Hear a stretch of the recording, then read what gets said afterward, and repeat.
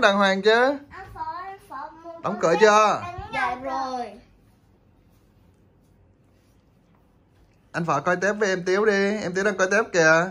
Hai con, mười con tép đang đánh nhau. Con muốn cái này để chơi. Không hôm nay hôm nay anh tiếu bị, hôm nay anh phở bị bạn rồi anh phở ngồi chơi một tí thôi rồi đi xuống. Em tiếu coi tép đi. Tép ở đây nó đang ăn nè tiếu. Anh phở Tép nó đang đánh nhau mà. Anh phở ơi. Ôi, chỗ đây nhiều con tôm nè. Đó, tép. Đây là tép chứ? Con tép. Con tép, con tép ít quá. Tép ít quá hả? Thôi mình coi ở bên kia bên kia nhiều hơn bảo bên kia nhiều hơn Ờ, kìa. đúng rồi, đúng rồi.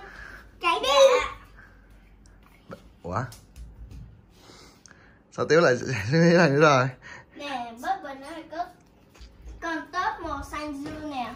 Đâu? Con tôm Nè. xanh dương đang đánh nhau. Đấy là con tép Con tép đang đánh nhau ấy Hay là con tép một nó đội Một đội chi, chi đánh nhau pèo pèo pèo pèo pèo pèo pèo pèo pèo pèo pèo pèo pèo pèo pèo pèo pèo anh phở làm gì đó phở bị bệnh mà sao ra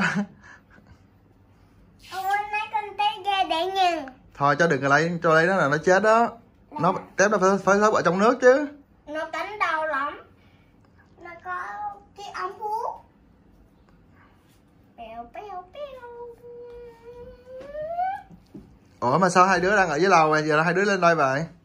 Con con tép mới nè. Có đau đâu? Ui dồi con tép này đen quá. Đen khui lúi à.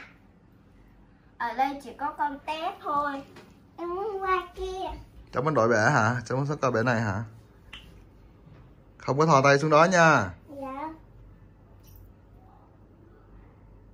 Chắc không coi chắc không coi tép bể ở phía trên hả? Em tiếu ở phía trên này có anh, anh phở ở phía trên này có một bể nữa này anh phở.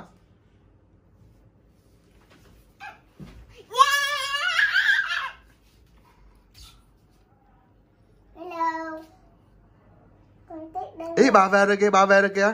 Bà nghe tiếng bà rồi. Dạ, dạ. đóng cửa lại cho bác đàng hoàng. Bye bye. Ừ